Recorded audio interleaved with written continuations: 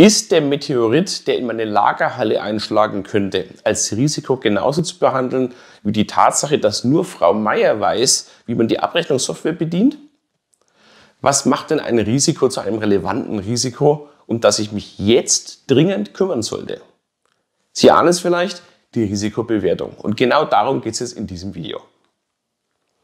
Ich grüße Sie. Mein Name ist Axel Schröder und ich beschäftige mich seit rund 25 Jahren mit der Optimierung von Unternehmen.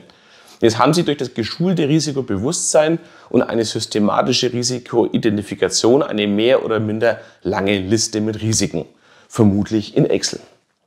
Und diese Liste ist Ihr betriebliches Risikoinventar. Also eine Liste für sich hilft natürlich jetzt nicht wirklich weiter. Das muss ich mit etwas tun. Und der nächste Schritt ist die Bewertung eines jeden einzelnen Risikos aus Ihrer langen Liste. Und dadurch findet man eben heraus, dass es Risiken gibt, um die man sich umgehend kümmern sollte. Es gibt aber auch Risiken, die man zwar nicht ignorieren darf, die aber derzeit keinen Handlungsbedarf haben. Wie bewertet man jetzt seine Risiken, um die in so eine entsprechende Reihenfolge zu bekommen? Ein sehr weit verbreiteter und allgemein akzeptierter Vorgehensweise ist die Bewertung der Risiken nach den beiden Dimensionen Eintrittswahrscheinlichkeit und Schadensausmaß. Aber beide Dimensionen fallen natürlich am Anfang sehr, sehr schwer gut zu fassen. Vor allem, wenn man das Thema jetzt neu aufbaut im Unternehmen. Was ist denn da wirklich eine Eintrittswahrscheinlichkeit und ein Schadensausmaß? Wie kann man das denn irgendwie bewerten? Das ist alles nur Bauchgefühl. Naja, dafür gibt es auch Vorgehensweisen. Denn was ist denn eigentlich der wirkliche Unterschied zwischen einer katastrophalen Auswirkung im Vergleich zu einer mäßigen Auswirkung? Also was ist da der Unterschied tatsächlich und wie kann man die Risiken da einordnen? Oder wann ist eine Eintrittswahrscheinlichkeit gelegentlich im Vergleich zu wahrscheinlich? Hier hilft es also sehr, wenn man sich auch einen Kriterienkatalog anlegt und jetzt starten wir mal mit den Auswirkungen, dann wird es nämlich deutlich deutlicher.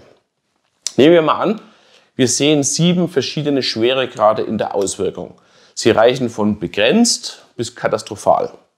Und wenn man sich zusätzlich verschiedene Schadenskategorien wie Sicherheit und Gesundheit oder Qualität oder Kunden überlegt, dann kann man für jeden Schweregrad und jede Schadenskategorie eine Beschreibung erstellen.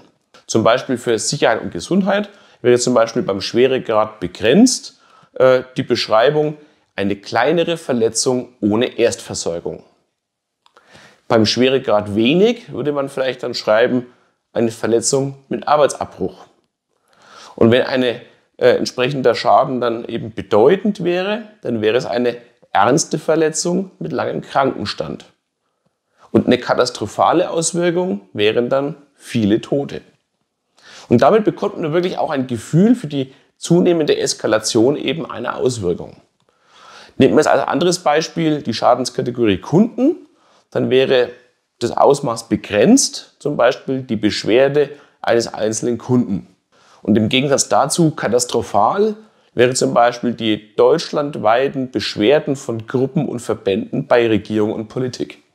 Würde das eintreten, hätte wahrscheinlich ein Unternehmen ein ziemliches Problem. Sie sehen also, mit so einer Einordnung fällt es dann schon viel, viel leichter, das Risiko wirklich griffig zu bewerten. Und manchmal hilft eben auch ein Risiko aus verschiedenen äh, Schadensklassen. Das kann vorkommen, dass es verschiedene Schadensklassen betrifft. Beispiele sind dann zum Beispiel hier Kundenbeschwerden und Reputationsschäden oder Qualität und Umwelt. Und dann sollten Sie das Risiko in jeder Schadenskategorie einzeln bewerten und sich dann zum Schluss anschauen, wie man das gesamt eben einordnet. Unsere Tabelle zur Risikoeinordnung mit den verschiedenen Schadensklassen haben wir in die Videobeschreibung verlinkt. Das können Sie sich also leicht anschauen, dann können Sie es auch nochmal nachvollziehen und die können Sie auch als Anregung für Ihre eigene Risikoeinordnung entsprechend verwenden. Und damit bekommen Sie jetzt die Bewertung nach dem Schadensausmaß ganz gut in den Griff. Aber wie sieht es mit der Eintrittswahrscheinlichkeit aus? Naja, das Vorgehen ist da relativ ähnlich. Man erstellt sich eine Vorlage, die genauso viele Einteilungen hat wie Ihr Schadensausmaß. Also wenn Sie beim Schadensausmaß, wie es in unserem Beispiel, sieben verschiedene Abstufungen der Schwere drin haben, dann empfiehlt es sich wirklich auch sieben verschiedene Abstufungen bei der Eintrittswahrscheinlichkeit zu verwenden. Der Grund dahinter ist oder der Sinn ist, dass man später eben die Risiken in eine quadratische Matrix einordnen kann, die dann eben 5 mal 5 oder 7 mal 7 Felder hat und dann wird es eben relativ leicht zum Einordnen. Und jetzt nehmen wir mal für die Eintrittswahrscheinlichkeit äh, an, wir hätten auch sieben Abstufungen zum Beispiel, wie oft eben ein Risiko eintritt. Die reichen dann von sehr unwahrscheinlich bis sehr oft. Aber was bedeutet jetzt eigentlich wirklich sehr unwahrscheinlich? Man könnte jetzt sagen, es kam weniger als einmal in 10.000 Jahren vor. Das hört sich jetzt natürlich ziemlich komisch an, weil vor 10.000 Jahren die Welt etwas anders aussah als heute. Das ist damit auch nicht wirklich gemeint, sondern wenn man etwas veränderten Blickwinkel darauf wirft, dann wird aus weniger als einmal in 10.000 Jahren ein, es kam noch nie in der Branche vor. Obwohl es da hunderte von Unternehmen gibt, es ist nicht bekannt, dass das jemals gewesen wäre. Und das ist ja eigentlich gleich viel griffiger. Und wahrscheinlich als Abstufung der Antrittswahrscheinlichkeit könnte man eben zum Beispiel sagen, es kam einmal in 100 bis 1000 Jahren vor oder etwas übersetzter eben, das kam in der Branche schon mehrfach vor. Das hat schon gegeben. Ist auch dokumentiert. Und sehr oft wäre dann zum Beispiel zehnmal pro Jahr oder kam monatlich in meinem Unternehmen vor. Und damit hat man schon eine sehr schöne Bewertungslinie drin, wo man sagen kann, für die Eintrittswahrscheinlichkeit, es fällt deutlich leichter, es einzuordnen.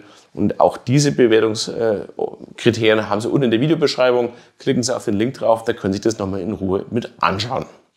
So, jetzt haben Sie hoffentlich alle Ihre Risiken einzeln, Zeile für Zeile, nach Schadensausmaß und Eintrittswahrscheinlichkeit bewertet. Und jetzt können Sie die Risiken in eine Risikomatrix eintragen und Sie sehen sofort, welche Risiken Sie sich umgehend darum kümmern sollten. Und daher eben auch vorhin der Hinweis mit der gleichen Anzahl von Abstufungen nach Eintrittswahrscheinlichkeit und Schadensausmaß, da kriegen Sie eine schöne Matrix hin, weil sie einfach gleich viele Kästchen nach oben oder nach rechts hat. Im dunkelroten Sektor sollten Sie dann die sofort tätig werden und zwar schnell. Das sind dann die Risiken, die sehr oft eintreten und vielleicht eine katastrophale Auswirkung haben. Wenn das tatsächlich so oft gewesen wäre, wird es das Unternehmen wahrscheinlich nicht mehr geben. Aber es kann schon sein, dass die Auswirkungen katastrophal sein können, aber die Eintrittswahrscheinlichkeit Gott sei Dank noch nicht äh, so hoch war, dass es schon vorgekommen ist in Ihrem Unternehmen. Das sind so klassische Versicherungsfälle zum Beispiel. Was da zu tun ist, genau mit solchen äh, Risiken und wie man damit umgeht, was für Handlungsoptionen gibt, das verrate ich Ihnen gleich. Aber bevor ich das noch verrate, wie man da genau drauf eingeht, verraten Sie mir doch mal, was Sie jetzt über diese Risikobewertung wirklich denken. Schreiben Sie mir doch mal gerne Ihre Fragen in die Kommentare rein. Wir greifen dann die Anregungen in künftigen Videos mit auf und äh, beantworten dann Ihre Fragen mit. Und damit Sie diese Videos nicht verpassen, auch gleich den Kanal abonnieren. Sie wissen schon, Glöckchen und so, damit Sie auf dem Laufenden bleiben. So, jetzt hatte ich noch versprochen, Ihnen die Handlungsoptionen nach der Risikobewertung zu verraten. Und die ergeben dann letztendlich Ihre Risikostrategie als Unternehmer und als Unternehmen. Und es sind vier grundlegende Möglichkeiten, wie Sie in dem Umgang mit Risiken haben. Die erste ist einmal die Risikoakzeptanz. Also Sie leben mit dem Risiko und tun nichts, weil es sich vermutlich um Risiken im grünen Bereich Ihrer Risikomatrix handelt. Das heißt, es ist eine bewusste Entscheidung, sich jetzt nicht um diese Risiken zu kümmern, weil sie sehr unwahrscheinlich sind und das Schadensausmaß zum Beispiel sehr übersichtlich, also eher gering. Aber, und das ist der große Unterschied jetzt, diese Risikoakzeptanz ist eine bewusste Entscheidung und nicht Naivität. Großer Unterschied. Die zweite Handlungsoption ist die Risikoverlagerung. Und die Risikoverlagerung und die beiden anderen Handlungsoptionen, die besprechen wir ausführlich im nächsten Video über das Thema Risikobehandlung und Risikosteuerung. Bleiben Sie also dran, wir sehen uns im nächsten Video. Herzlichst, Ihr Axel Schröder.